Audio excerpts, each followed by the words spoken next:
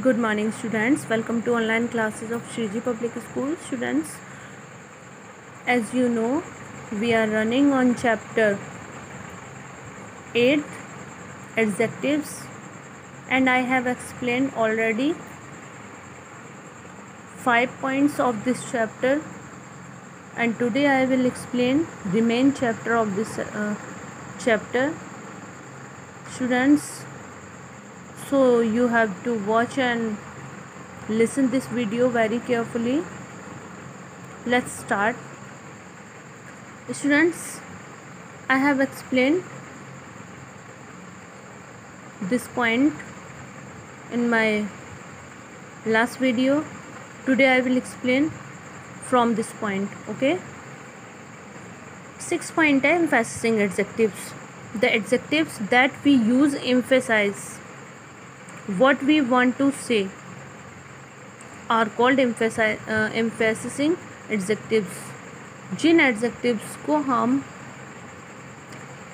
को ज़ोर देने के लिए जब हम कोई बात कह रहे होते हैं और उस बात को ज़ोर देकर कह रहे होते हैं तो वहाँ पर एम्फेसिंग एडजेक्टिव होता है। For example the campaign was a complete success अब ये जो कंप्लीट सक्सेस है।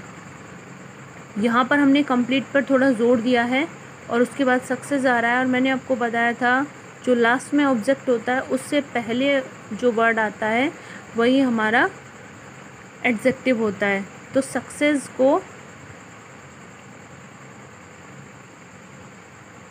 सक्सेस की क्वालिटी बता रहा है कंप्लीट ओके तो यहाँ पर कंप्लीट पर हम ज़ोर देकर बात कर रहे हैं। तो ये कंप्लीट वर्ड यहाँ पर इम्फेसिंग एडजेक्टिव है। This is the very dress that I wanted to buy ये वही ड्रेस है। अब मैं सेंटेंस बोलते टाइम देखिए, वही ड्रेस है जिसे मैं ख़रीदना चाहता था या फिर मैं ख़रीदना चाहती थी। तो मैं सेंटेंस को बोलते टाइम ज़्यादा ज़ोर कहाँ लगा रही हूँ? वही पे वेरी पे। तो ये वही वाली ड्रेस है जिसको मैं ख़रीदना चाहती थी। तो जहाँ पर हम कुछ वर्ड्स को बोलने में थोड़ा ज़ोर देकर बोलते हैं किसी बात को तो वहीं पर एम्फेसिसिंग एडजेक्टिव्स होते हैं। लेकिन आपको ध्यान रखना है कि जब हम जिस वर्ड को ज़ोर देकर बोल रहे हैं, उसके बाद हमारा कोई ऑब्जेक्ट है या नहीं है, कोई नाउन है या नहीं है ओके तभी हमारा ये यहाँ पर एडजेक्टिव होगा, वरना ये एडजेक्टिव नहीं होगा ओके अब नेक्स्ट पॉइंट है seven positive adjective positive adjective show belonging और पोजिशन पॉजिटिव एडजेक्टिव किसी चीज़ पर अपना अधिकार जमा रहे होते हैं, ठीक है? जिसे कोई भी चीज़ मेरी है, उस तरीके से। तो माई बॉय अब यहाँ पे माय बॉय देखेंगे। माय बॉय में मेरा लड़का। तो लड़का किसका है? मेरा। तो माय किस पर अपना अधिकार जमा रहा है? बॉय पर। इसी तरह से देयर हाउस हाउस किसका है? देयर उनका। तो ये जो देयर है, ये हाउस पर अपना अधिकार जमा रहा है। तो माई देयर ये दोनों यहाँ पर पॉजिटिव एडजेक्टिव हैं। My last point is participle adjectives present participle and past participle when use as adjective are called participle adjective जब प्रेजेंट पार्टिसिपल और पास पार्टिसिपल को एडजेक्टिव की तरह यूज़ किया जाता है तो वो पार्टिसिपल एडजेक्टिव बन जाते हैं।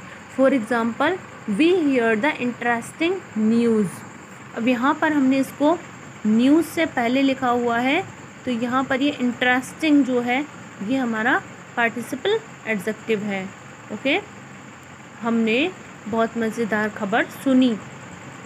तो खबर कैसी सुनी? मज़ेदार। तो ये जो इंटरेस्टिंग वर्ड है, ये हमारा पार्टिसिपल एडजेक्टिव है। नेक्स्ट पॉइंट है people say that this is a haunted house लोगों का कहना है कि ये जो घर है, ये भूतिया घर है। तो यहाँ पर घर कैसा है, घर की विशेषता क्या है?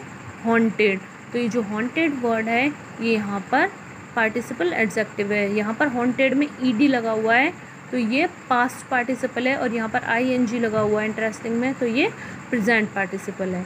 ओके स्टूडेंट्स जो भी वर्ड्स जितने भी वर्ड्स किसी भी नाउन प्रोनाउन इन सभी की पर्सन थिंग इनकी विशेषता बता रहे होते हैं, वो सभी एग्जेक्टिव होते हैं, ये हमें ध्यान रखना है। ओके स्टूडेंट्स इस वीडियो में इतना ही। आगे का जो चैप्टर आपका सेवन है, उसको मैं नेक्स्ट वीडियो में एक्सप्लेन करूँगी और उसको अच्छे से समझना है। Okay thank you take care